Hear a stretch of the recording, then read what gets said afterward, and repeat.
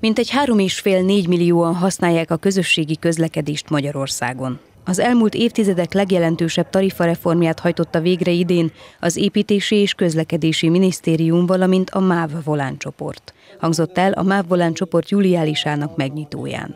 Ilyen változtatás volt például, hogy minden 14 év alatti és 65 év feletti utas díjmentesen utazhat, továbbá március 1-től díjmentesen vehetik igénybe a helyközi közlekedést a fogyatékossággal élők és a tartós betegek kísérőjükkel együtt. Az elmúlt egy-két évben nagyon sok jelentős változás következett be a Mávolán csoport életében, amelynek kihatása van az utazóközönségnek az életére, hiszen az új tarifa reformnak köszönhetően, az országbérletek és a várbegyemérleteknek köszönhetően jóval olcsóbban, sokkal többen vehetik igénybe a szolgáltatásokat. Ez kiegészült informatikai fejlesztésekkel is a MÁV applikációnak azon szolgáltatásai, amelyek lehetővé teszik a különböző menetjegy és egyéb termékeknek a vásárlását. Ezek én azt gondolom, hogy mind megkönnyítették az utazóközönségnek. A tarifarendszer átalakításán túl szó esett az infrastruktúrális fejlesztésekről is, melyek egy sokkal gyorsabb és komfortosabb megoldást ígérnek az utasoknak. Debrecen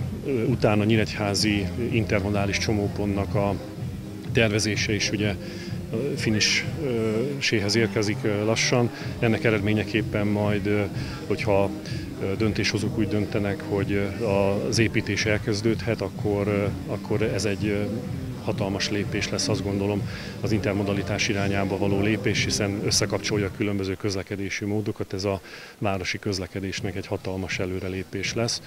Ezen kívül tervezés alatt van Debrecen-Nyíregyháza százas vasútvonalnak az átépítése. Korábbi években, évtizedben már Szajoltól Debrecenig ez a változás megtörtént, és ha ez a tervezés is a végéhez ér, és a forrásokat biztosítják a megépítésére, akkor itt is egy hatalmas változás léphet életbe, hiszen akkor ezen a pályaszakaszon is már majd 160 km óra sebességgel, egy magasabb tengelyterheléssel lehet közlekedni, ami mind az utazóközönségnek, mind az árufuvarozóknak egy magasabb szolgáltatási színvonalat fog tudni nyújtani. Vinnai Győző beszédében kitért arra, mennyire fontos Szabolcs-Szatmár-Bereg vármegye életében az, hogy egy 21. századi jól működő, összehangolt közösségi közlekedés segítse az emberek mindennapjait. Az egyik változás az, hogy, hogy elérhetőbbé vált az utazóközönség számára a vasút és a volán, az autóbusz, az országbérlettel és a vármegyebérlettel, tehát nagyon népszerűek ezek. A másik pedig, hogy fejleszteni kell, a 21. század igényeihez kell alakítani, pontosnak kell lenni, komfortosnak kell lenni ezeknek a vonatoknak, illetve autóbuszoknak, környezetbarátnak kell lenni, és örömmel számolhatok be arra, hogy a választókerületet is érintik ezek a fejlesztések, hiszen hogyha arra gondolok, hogy Nyíregyházán egy intermodális csomópont, ez azt jelenti, hogy a, a vasút és a volán egymás mellett lenne és összehangolja a menetrendet is, az, az utazóközönségnek nagyon jó lenne. E, ezen dolgozunk, illetve a Tokai úti aluljárón is tervezési fázisban van, illetve a Nyíregyházát elkerülő körgyűrű megépítésére is remélem, hogy belátható időn belül sor kerül. A változtatásokról az utazók információkhoz juthatnak a MÁV csoport online felületein.